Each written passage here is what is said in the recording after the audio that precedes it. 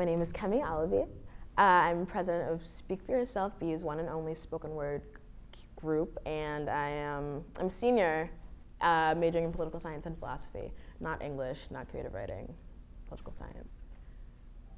So Speak for Yourself was started six years ago um, by uh, Saliba and Justin Lamb. There was no spoken word club at BU, and I mean they had been to the Cantab, the Lizard Lounge. They, you know, they were into Def Poetry Jam. They were in, spoken word was around, and it's definitely around in Boston, but it didn't have a presence at BU. So they created a club. It started off small, and they didn't think that it would last past them. They thought they'd graduate and the club would fade out, um, but it's still here. Luckily, we've been able to change leadership enough and keep it going, uh, keep interest around, and now on campus people know us. They ask for Speak for Yourself to perform at events. You know, um, do you know more love? Speak for Yourself. You know, it's now it's definitely become a, a big part of this campus because of them.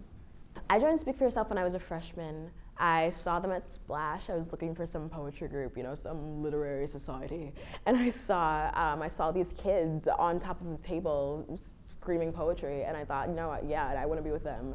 And uh, later, it took me some time because it's really intimidating, but later that semester I joined Speak and I've been with it ever since.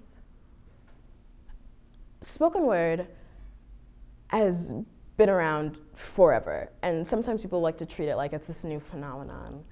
But language, language is spoken. That's how it started. Uh, and spoken word poetry specifically, I, I think that um, poetry on the page. I, I, love poetry on the page, but sometimes it feels really alienating to have this um, private thing on a page that some brilliant poet who you don't understand has, has, has written this thing down. And sometimes it's, it, it doesn't connect with people in the way language is supposed to. Language is, you know, the way that we communicate with one another. It's the way that we express these thoughts. We pull these abstract things down into words that we can then share with somebody else. And I think that when you take away that spoken element, it, it takes away that connection, that idea of communication that is inherent to the idea of language.